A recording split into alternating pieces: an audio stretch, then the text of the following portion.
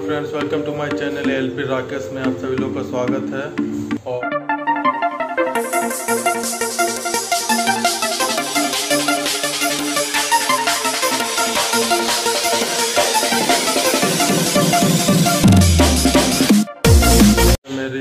L our duty complete हो गई है जहाँ जहाँ की मेरी एल आर ड्यूटी वो मैं कंप्लीट कर लिया हूँ और इसलिए थोड़ा बिज़ी शेड्यूल हो गया था।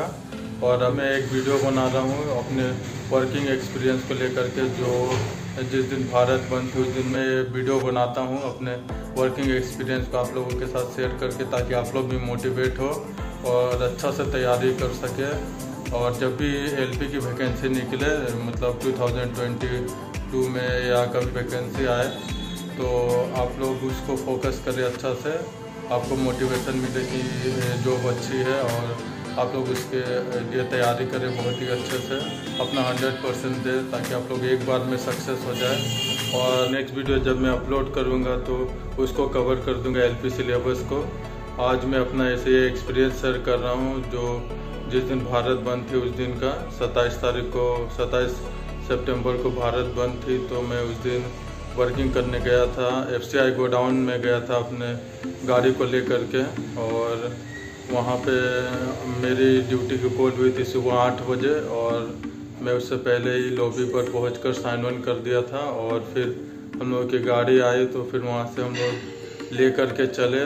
तो मतलब उस दिन वो गाड़ी कोई चल नहीं रही थी, सारे पैसेंजर ट्रेन उस दिन कैंसिल हो चुकी थी तो हम लोगों की गाड़ी जल्दी पहुँच गई। मगर उधर से आते टाइम बहुत ही टाइम लग गया, क्योंकि उधर कोई भी गाड़ी उधर से मतलब नहीं चल रही थी तो हम लोग की गाड़ी वहाँ रुक गई जा कर के और हम लोग वहाँ दो तीन घंटे वेट करने के बाद हम लोगों को हम लोगों की गाड़ी वहाँ से आई। फिर हम लोग यहाँ पे शाम में करीब सत्रह बजे यहाँ पहुँच, सत्रह बजे पहुँच करके फिर हम लोग साइन अप किए। तो आप लोगों को आगे एक क्लिप दिखाऊँगा, जिस लोगों से मैं गया था। और वो बहुत ही अच्छा लोको है ए बी बी लोको है थ्री फ़ेज़ लोको जिसे कहते हैं, बहुत ही पावरफुल लोको है। और इस लोको में एसी भी प्रोवाइड किया गया है, जो कि एक बहुत ही अच्छा कंफर्टेबल कैब फ्रेंडली वर्किंग करने में हम लोगों की हेल्प करती है। तो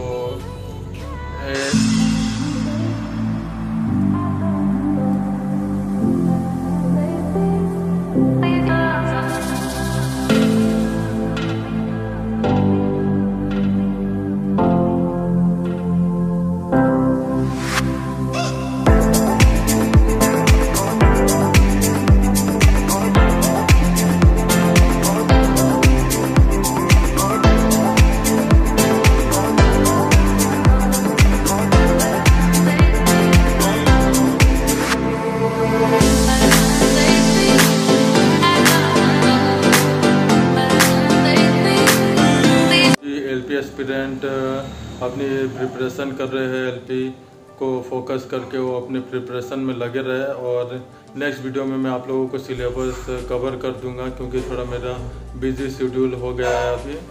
और फिर मैं आप लोगों को सिलेबस बता दूँगा उसके बाद एक सिक्वेंसली सारा कुछ बताऊँगा सिलेबस और आ, उसके बाद आप लोगों को सी बी टी टू के बारे में बताऊँगा।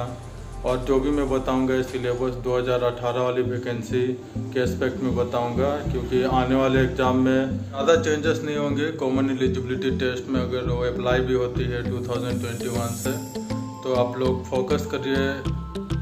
इस सिलेबस को भी टैली करके चलिए और जो अपकमिंग मतलब जो भी अगर अप्लाई होता है कॉमन एलिजिबिलिटी टेस्ट तो ज़्यादा चेंजेस तो नहीं होंगे। तो आप लोग सिलेबस को, उसको थोड़ा बहुत फॉलो करिएगा और मतलब मैथ और रीजनिंग तो सेम ही रहेंगे और टेंथ लेवल तक के ही क्वेश्चन आएँगे।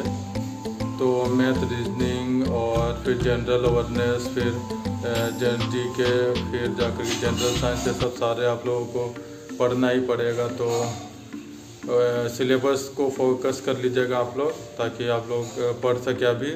और मैथ और रीजनिंग तो हंड्रेड परसेंट है कि वो तो आना ही है। तो आप लोग उसको ज़्यादा फोकस करिए क्योंकि उसी से नंबर आप लोग ज़्यादा से ज़्यादा नंबर नंबर बना पाएँगे। और ए से जो भी आप लोगों को डाउट है एलपी के रिगार्डिंग एग्ज़ाम के रिगार्डिंग तो आप लोग मेरे कमेंट बॉक्स में कमेंट ज़रूर करिएगा। और नेक्स्ट वीडियो जल्दी आएगी। मतलब एक दो दिन में मैं सिलेबस आप लोग के साथ डिस्कस कर दूँगा। तो जो भी मेरे चैनल में फ़र्स्ट टाइम विज़िट कर रहे हो, मेरे चैनल को जाके सब्सक्राइब कर दीजिए। और जल्दी वीडियो आएगी नेक्स्ट वीडियो तो आप लोग ऐसा ही सपोर्ट करते रहिए और मैं आप लोगों को, जो भी आप लोग को डाउट हो, मेरे कमेंट सेक्शन में कमेंट ज़रूर करिएगा। मैं ज़रूर आंसर करूँगा आप लोग को। तो ऐसा ही सपोर्ट करते रहिए और जल्दी मिलता है नेक्स्ट वीडियो में नेक्स्ट वीडियो में। तब तक के लिए good bye take care and always be happy and respect your parents thank you